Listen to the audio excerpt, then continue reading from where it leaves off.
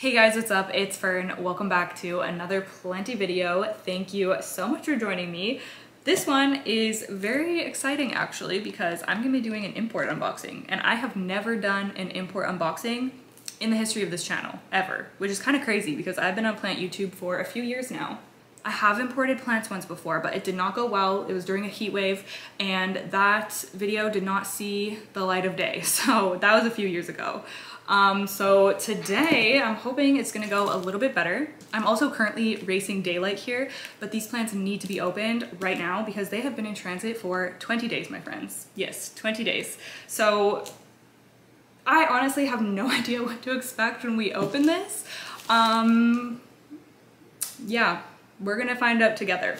These plants came to me all the way from Indonesia from a nursery called Greenspaces, which I'd heard of before. I've seen other people order from them, so it was, the company's a little bit familiar to me and they reached out and asked if I wanted plants and my first thought was I have so many plants like I don't need more plants but then I hopped on their website and they have some really freaking cool plants on there so then I was like okay yes.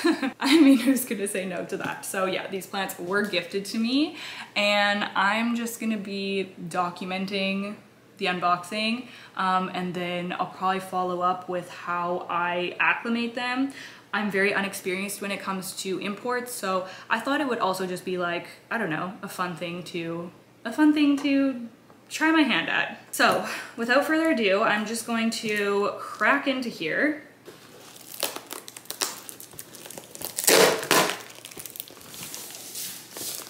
There's all the documentation here that you need.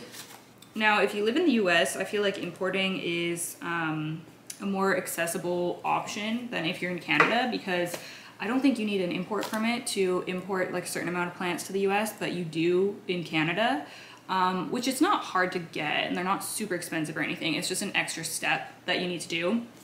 I know people in Canada still import plants all the time, but it's definitely something to kind of keep in mind. All right, here they are.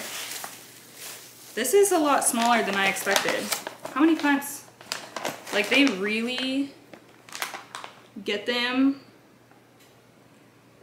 like flat. I'm like, what? There's like six plants here. One, two, three, four, maybe there's only five. One, two, three, four, five, six. There's six plants here and this is so compact. All right, and then there's just paper So I picked out four of these plants and then they picked out two of them. And I feel like I picked a really cool variety. So I'm excited to show you guys and I'm excited to um, grow them out. Hopefully they're okay.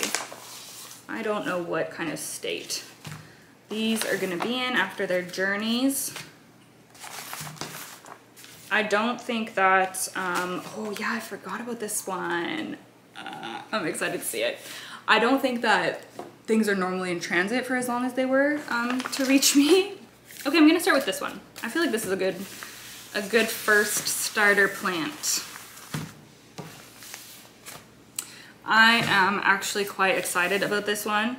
Um, one of my friends has one of these and I love it, so hopefully this guy's gonna be okay. Oh, looks like I can just Oh my goodness. Oh, he's kind of yellow, but I can still tell that he's so cute. Oh my goodness, and a new leaf has been trying to unfurl. Oh, I hope that the roots or the at least the nodes are healthy because I really want to grow this out. So this is a Monstera adansonii Indonesian mint. Is that what it's called? Or Indonesia yeah, the variegated Indonesia, Indonesian um, variant, variety, it's actually really pretty. Like you can see the variegation, how stunning that is. But yeah, he is, he is looking a little yellow. This poor guy, look at the new leaf trying to come in. Oh my, my. If you've been watching for a little while, then you might know that I have been wanting a variegated Monstera adansonii. I had one of the Albo versions and it completely reverted. It just kept going all white. I cut it up. All the cuttings kept going all white. Um, so I've been in the market for another one of those. But then when I saw the Indonesia one with this more kind of like mottled or like minty variegation, I thought that that might be a better option for me. Um, I mean, I would still love to have the Albo one, but these are pretty. Like I said, I have a friend who has one and I, I just think that they're so gorgeous. I'm really, really hoping that this one is gonna be okay. I'll take a look at the roots at the end um, and show you guys. I just wanna get them all unpackaged first. But I'm not, I mean, I would expect it to look worse, honestly, after its journey. Okay, so two of these, the two that they picked, I do already have, but they're plants that I like. So we're still gonna, this one is actually one of my favorites. So this is going to be not only a double in my collection, but a triple in my collection. Um, and I don't have many doubles. So the fact that I already have two of them, you know, says that I really like it. So I'm kind of excited to have another one into my collection because you never know, like there's variance between plants and different genetics. And um, I'll be curious to just grow it out and see what it looks like in comparison to the one that I have. And that is, oh my goodness, little cutie pie. It actually doesn't look too bad. It actually doesn't look too bad, you guys. It does have a spider web on it though, and that makes me kind of nervous because I am scared of spiders. That's creeping me out.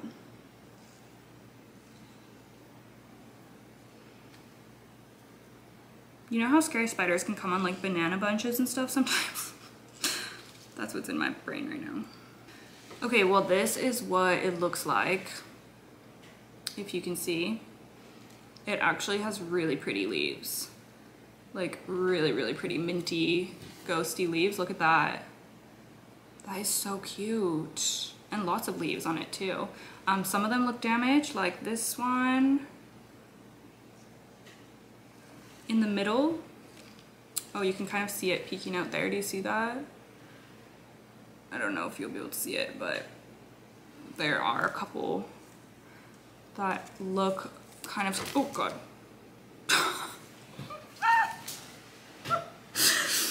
That's okay, the leaf just came off. It is okay. Yeah, that's really the only like super damaged leaf on here. There's one more that looks like it's gonna need to come off as well, but that's it. Like it looks surprisingly healthy. I am pretty darn impressed with that one. I love me a Florida Ghost. That's honestly a classic, like a staple in my collection, in my philodendron collection. They're just so, so pretty. Um, so yeah, I'm excited to grow that one out too. Okay, I'm gonna open a bit of a fun one that I picked. I really don't know too much about this plant. I do have um, one other of this genus, I guess, that I really love. And this one has actually been recommended by one of you in my comments. So when I saw that Greenspaces had it, I was like, okay, sign me up. I've never seen it around like for sale where I am. So um, I thought it was really cool that they, that they had it available.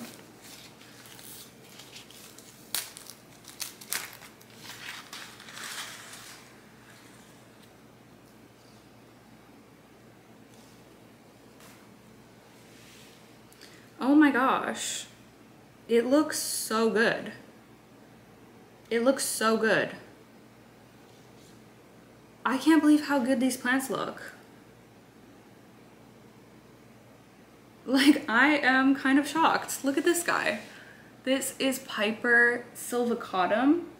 Yeah, so it's like a beautiful silvery Piper.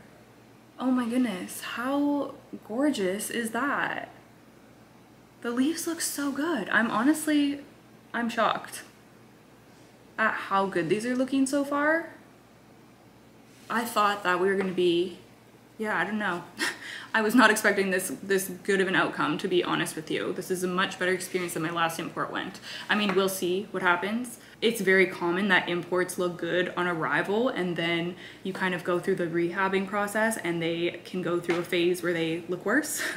so we'll see, but wow, this is just so, so cool. So I have the Piper crocatum, I believe, and um, I've just been loving it lately. So yeah, and one of y'all commented because, you know, I love silver plants. So I saw a comment that suggested the Piper sylvaticum to me and I'd never even heard of it before. I had to look it up and I never really see them around, um, at least where I shop for plants, like online or even in store.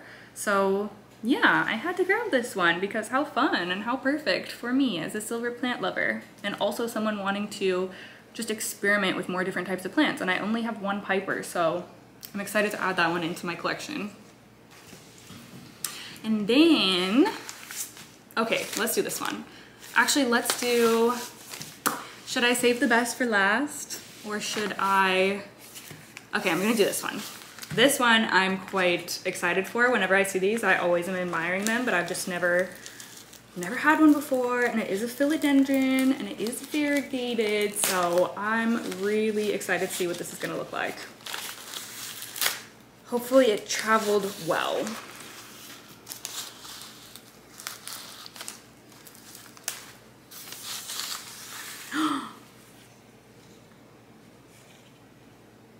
no way.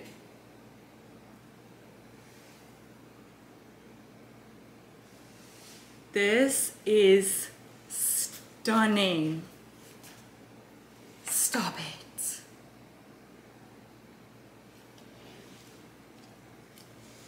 Are you kidding me? Oh my goodness. I was not expecting a plant this beautiful.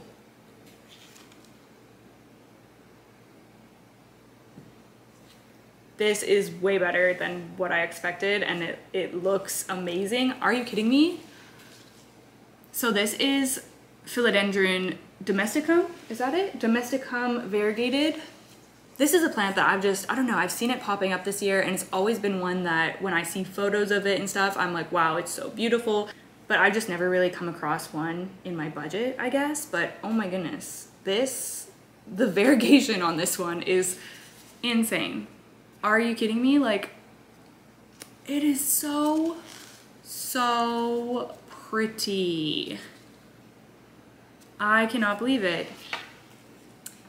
I'm so excited about this one. And you know what? This might even fulfill my urge to get a Jose Buono because that's been on my wish list for a while.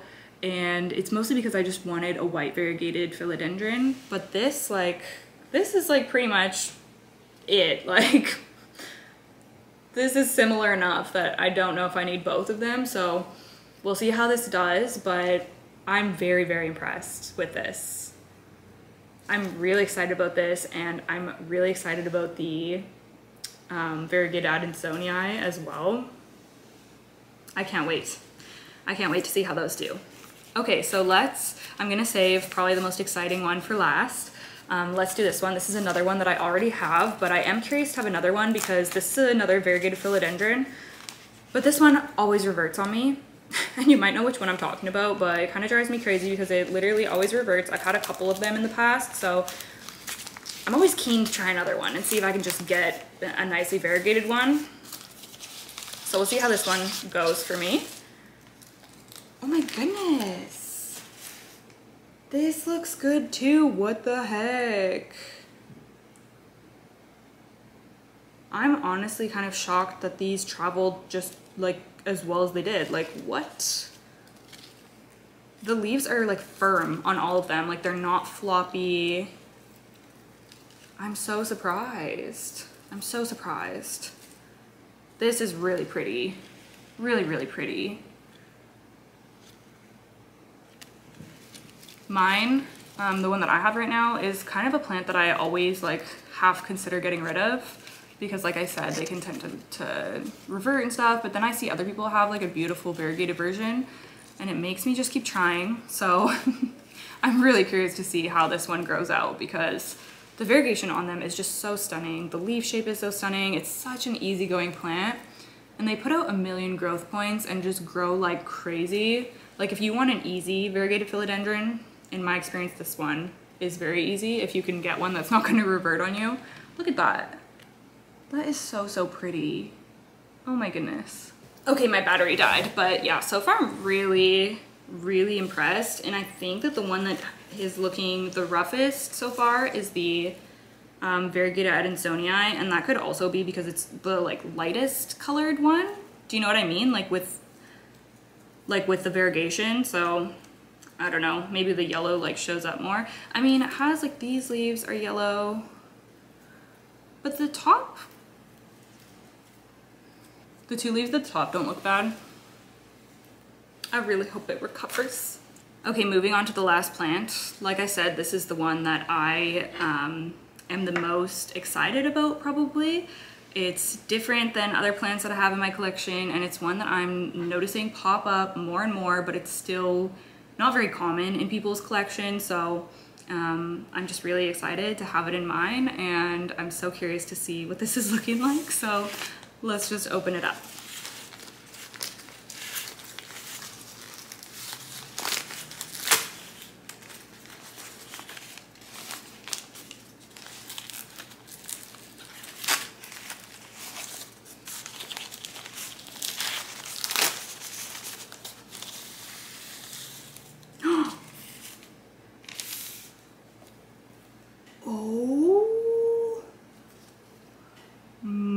goodness. Oh my goodness. What? Oh.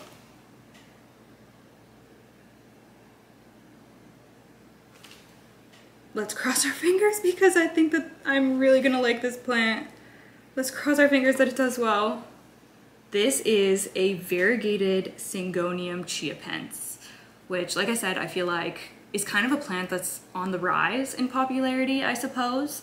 Um, not a ton of people have them. And every time I see a photo, I'm just like, wow, the variegation on these is crazy. And I was really keen to try this one out because I haven't had any like of the larger heart-leafed um, types of Syngonium. And I've always wanted the Syngonium frosted heart, never had one. Um, I've always heard people recommend the chiapense, but I've never had one. Um, so now, of course, I'm so sucked in by this variegation. Look at the mint. Oh, like this is absolutely dreamy. I am not gonna stop staring at this leaf. Oh my gosh. This is, it has three leaves. This is the second one. I love just like the different splotching of like the different shades of greens and whites. It's so pretty.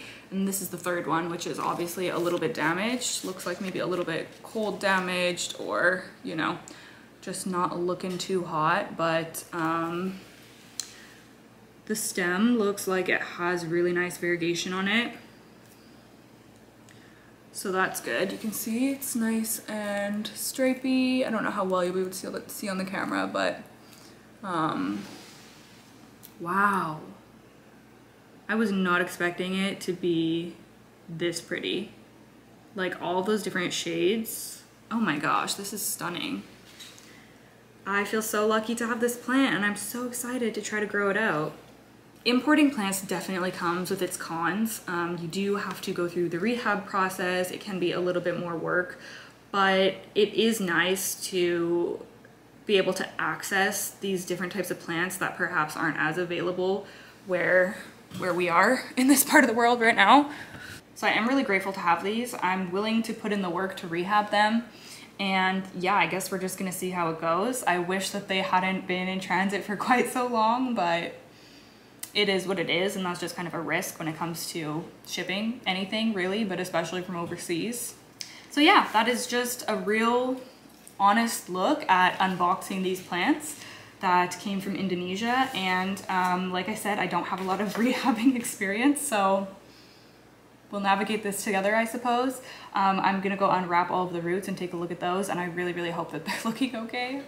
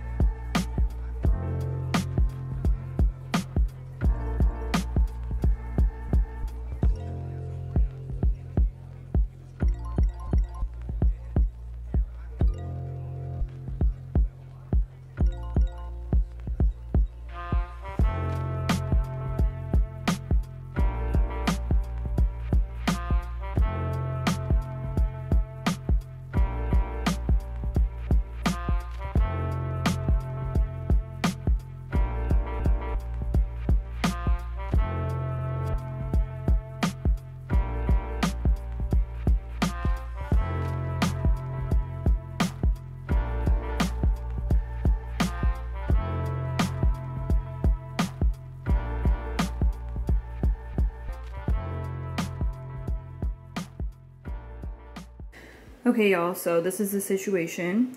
I basically just took them all and trimmed off any roots that looked rotted or just unhealthy and then popped them into water with a couple of drops of Super Thrive to help mitigate any shock and also promote new root growth. So they're all just in Starbucks cups here. Um, I also washed the spider web off of that one. but um, the only one that I had to completely cut the roots off of was the Piper. They just all look dead. So I cut them off and hopefully it'll just reroot for me. It looks really healthy um, despite having dead roots. So I think that it'll hopefully just root up for me. Um, and I'm actually going to be rehabbing them in a bin that I just got from downstairs. So I think I'm going to set them up um, in a bin just to increase the humidity. It's not going to be like a, you know, 100% humidity or anything because this isn't sealed, but it'll boost their humidity and I'm also going to set them up with a grow light. I have no idea where I'm going to put this, honestly probably beside my bed because there's just really not many other spaces for it. But yeah, I need to wash this out and get them all set up and then I'll show you their like final setup situation.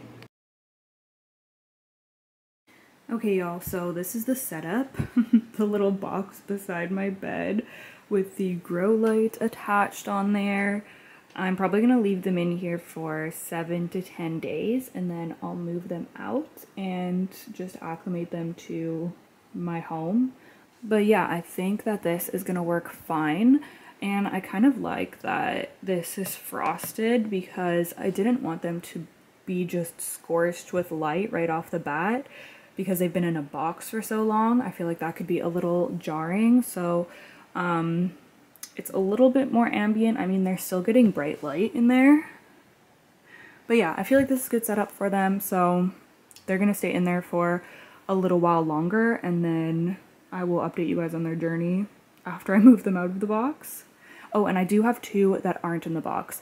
I kept out the Florida Ghost and the Burle Marx variegated because well, first of all, it was really cramped. But second of all, I know that both of those plants are really tough, so I think that they can handle it. And third, I'm just curious, like, I feel like it'll be an interesting experiment to see how those ones do, just going straight from the import box to room humidity. So yeah, I'm really interested to, to find out how they're gonna do. Okay, so we're gonna do just, I guess, a mini update. I've had these plants for three days now, and I'm just finishing editing the video so I figured I would add on this little three day update. So I've had um, these, here let me try to open this. I apologize, the lighting probably isn't going to be great either. Yeah, I haven't looked at the roots or anything yet. I mean, it's only been three days, so probably not too much happening, but just an overview of what they're looking like. They look relatively the same, which I'm taking as a good sign. Actually, this one, this Philodendron domesticum, is popping out a new leaf, which is kind of crazy. Like, okay. Um, let's take a look at the roots here. I mean, they're probably just going to look the same.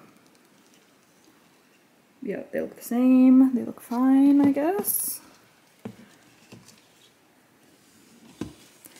The Syngonium chiapense, again, looks the same. And the roots look the same. Oh, shoot. Our lighting is going. The Piper. Let's take a look at that one.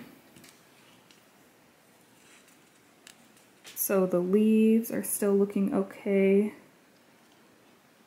They look maybe a little droopier. And I'm just gonna watch and wait for some root growth to come in. Yeah, the leaves feel a little like thin and just not super happy. Yeah, it's definitely drooping now. So let's keep our fingers crossed for that one. These ones, like this one still feels pretty thick. This one, oh, this one feels like really thick the Monstera adansonii. This is what it looks like. That leaf that was trying to unfurl is still kind of trying to unfurl. The roots, I had like one big root. Yeah, so not too much. Oh, there's a leaf that needs to be removed from this one. It's just gonna rot in there, so I just removed that one. So I'm gonna put these back. The first two days I had the lid completely closed. And um, for today and for the rest of the week I'm just gonna leave it kind of propped open a little bit because first of all the leaves were like pressed against it and I don't like that. Like I don't want the white to just start browning on me if it's getting if it's in contact with the the bin and like getting the built up moisture on it. I don't want that and I also just, I don't want these to be living in high humidity, so I just want to gradually get them used to lower humidity. So I've just been kind of keeping the lid like, um, just like, well, I've just been fiddling with it until it kind of catches. Oh my gosh, of course it's not going to work now. I don't know. I'm winging it, you guys. Okay, I'm gonna show you the two that I have not been keeping in the bin. They actually look surprisingly good. Variegated Burle Marx. I mean, it's a bit droopy, to be honest. And yeah, the leaves feel a little sad, but overall not bad. I think it's gonna be fine. Honestly, I do. There's a new leaf coming in on this one too, right there. So yeah, I'm sure it's gonna be fine.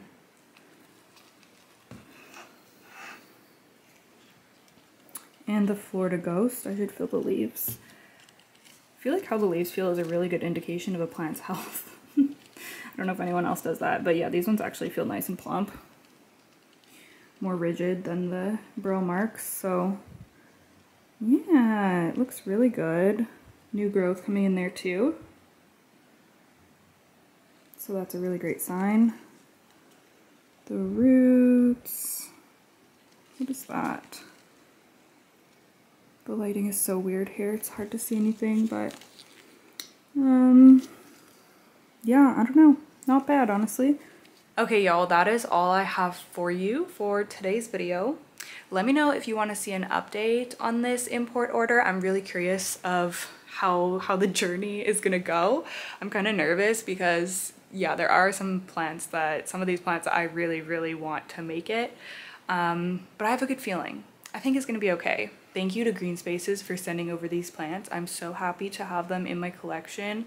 I'll have all of their information linked down below in the description box and they actually have sent me a discount code as well so I'll include that down there if you're interested in placing an order with them. Other than that, hope that y'all are well. Leave me a comment down below. I would love to hear from you. And yeah, thank you so much for watching. I will see you in the next one. Bye!